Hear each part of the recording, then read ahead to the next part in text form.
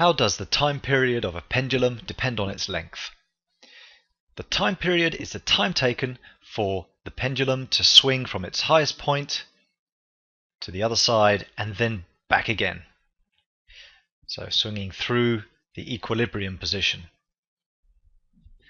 And the, the easiest way to time that accurately is to time 20 oscillations using a stop clock or a stopwatch and then once you've timed 20 oscillations so to be 1 2 3 and so on divide by 20 to find an average oscillation time an average time period and what you'll find is that if you increase the length of the string if you increase the length of the pendulum then the time period will also increase.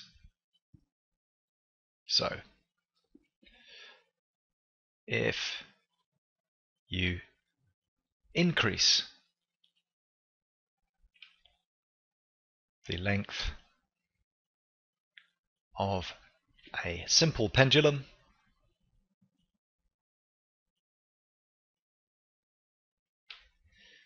then the time period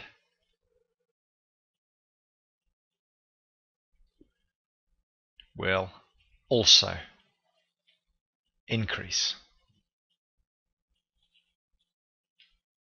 So, as one increases, so does the other. It's not a straightforward relationship. If you quadruple the length of the pendulum, you'll actually find that the time period will only double.